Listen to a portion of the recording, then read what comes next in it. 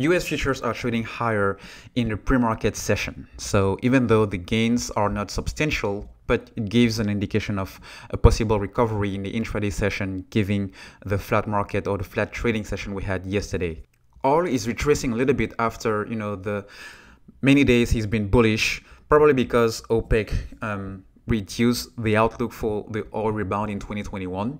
Um, we'll see how it does trade in intraday, even though yesterday we had a, a very um, bullish market mover um, from the EIA, um, which released a very, very big draw surprise into last week production. This will be interesting for the energy sector especially for the small mid cap, uh, which are usually very volatile in response to um, the crude oil price on the crypto world, they are rebounding pretty much all of them. You know, Bitcoin gaining 3.8%, Ethereum 3.35, and Ripple 4%. Bitcoin Cash is the biggest uh, gainer in this pre-market session with an 871% gain for the pre-market session. Cryptocurrencies have been really bullish um, this week following the big investment of Tesla into Bitcoin and as we can expect um, more other companies can follow the same path as Tesla did. So we're going to see how the trading uh, goes for the cryptocurrencies for the end of this week. On the economic indicators, we have the initial jobless claims that will be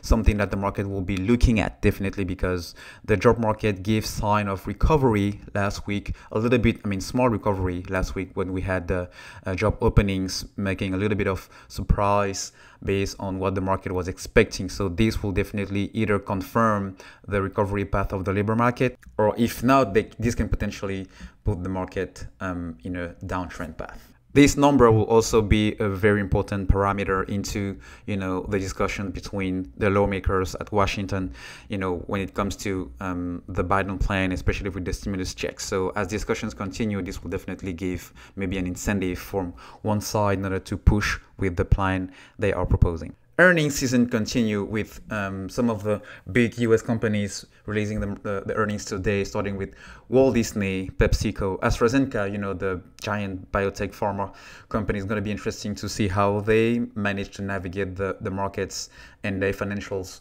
um, since they are were part of the COVID-19 uh, vaccine race. As always, whatever it's happening in pre-market session, it doesn't necessarily transpire into what the actual intraday session will look like. So pay attention guys and be careful as you plan ahead for your trading strategies.